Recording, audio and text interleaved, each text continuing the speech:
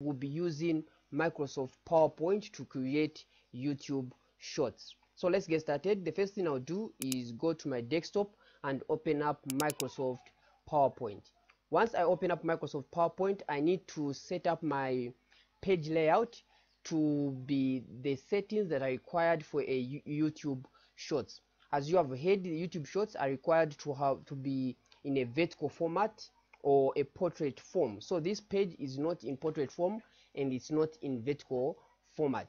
So the first thing you need to do is go to design and choose page setup and make sure where it's saying slides choose portrait and once you choose portrait also here where it says uh, slide sized 4 make sure you choose a 16 by 9 so now once you choose 16 by 9 and you put it uh, portrait form what will happen is that this 16 by 9 is interchanged or swapped and it becomes a 9 by 16 so what i want you to do is pay attention to this canvas that is here. I want you to notice what I, uh, will happen when i click this ok button. So let me just go right ahead. And click ok. So here. So you can see once i click ok this is my my screen size. So if i go in full mode in full mode this is how my screen will appear. So that's how you know that you are setting up a youtube shorts okay? I'm sure you've seen some of the videos on youtube and most of the videos that we see here uh, that look like this whereby you have there's something a dark screen this side and dark screen that side. Then you have a video in the middle. Mostly we take them with our phones and once we upload them to youtube that's how they appear. The reason being is those those videos are in vertical or in portrait mode that's why yeah that's one of the requirements for a youtube short. So now once you have that one what you can do powerpoint microsoft powerpoint allows us to choose designs for our page. Uh, you can go through all the designs that are available. I love to choose this one. And once i choose this one what you can do microsoft can allow you to add a video a, an image a slide a chart whichever whatever you want. So what i'll do just on this page i'll go right ahead and click new slide. So i want to get rid of this first slide. So i'll delete this first slide and go to this new slide. So now here i'll add a, let's say a title. So let's say youtube short. Shorts. Okay so youtube shorts. Now we can center this youtube shorts the same way you, you use you center uh, text in microsoft. So i can do that. You can align them. You can you put, place them however you want. It doesn't matter. You can even place them in bold. You can change the text to be how you want the text to appear. It doesn't matter. So if let's say i choose my text and try to change it to this format you can see it's changing right away. I can have the spelling for youtube the way i want it. Now here where uh, where you i have options microsoft powerpoint gives me options to add an image to add clip art to add a video. You can add a smart graphic you can add a chart you can add a table.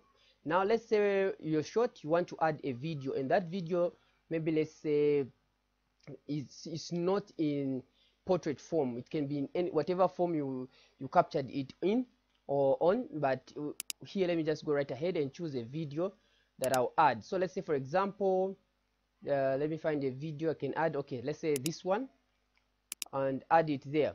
So now you can see once I add my video uh, PowerPoint will shrink the size of that video to fit the section where I can add that video. Now the problem with that is that if I go into full mode you see how my video appears if I even decide to play it? My video please welcome like Shania Twain. So and it is leaving out a lot of uh, it is leaving out a lot of uh, space. Now that is something we don't want. We want our video to take up all this space so that it looks professional. So what you can do is just go right ahead hold down the control key and resize your video. Okay.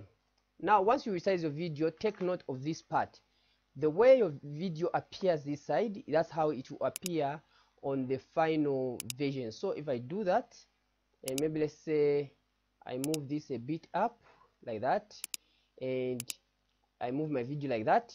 So regardless of whether my video is uh, exceeding this uh, section the only thing that will appear in the final video is what is on the screen size okay? As you can see here if I go in full mode let me just show you.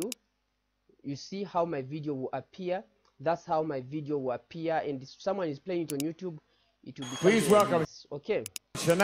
So you can see that's how you add a video. Now this video that I have added here I can also choose to crop it. Okay? So if I go to video tools and then format I can choose to crop it just here.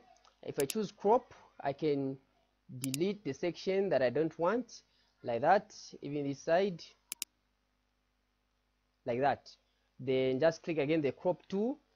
I'll click it like that. Okay so you can see I have taken out some things I don't want in my video. So now once I've done that the next thing we need to do as you recall or as you know uh, for a video to be regarded as a YouTube short it doesn't not only need to be in portrait form but it also needs to be shorter than 60 seconds. And let's just say shorter than 58 seconds. Because if you create the video around 59 it you, YouTube would show it as if it's a, a minute long. So at least make it less than 60 seconds. So now the challenge is that this video is about three minutes long because this is a song. So what you need to do while you are on your uh, on your video section or on PowerPoint just click on the video and right click so just go to the video and on your video let's say okay. So maybe let's say this is the part I want my video to play but now or maybe I don't want you can go play the entire video first of all. Uh, just go right ahead and click on the video. Make sure you select it. I don't know why okay yeah there it is. Don't know why it was not coming up it is bringing me options to move. I think not the move to okay yes there now. You have to right click once you right click it will bring you these options where you can cut copy or you can paste the things. But just below the paste options there is where it's saying trim video. Okay so I'll choose to trim video and YouTube. Oh sorry on uh, Microsoft PowerPoint will bring out a trimming uh, window where I can trim the video. So first thing you need to do you can go right ahead and play the video. Let's say if I move it like this I want only this part. I can trim it to this part only. Maybe if I want let's say okay only this part I can trim it so that the second so you can see you can even it even shows you the start time which is uh, 20 it will start at 20 and end at 34 somewhere there. 34 seconds. So if you subtract 20 uh, 34 minus 20 it gives you about 14 seconds. So I can adjust it a bit depending how, how long you want it to be and just click OK. And that is my video is now trimmed.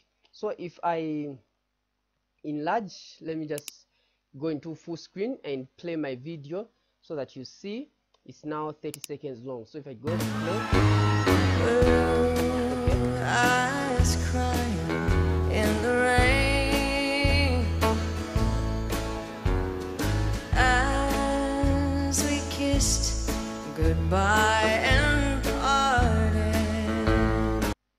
So you can see my video is only 30 seconds long uh, it's less than 30 seconds long and need to only play that part.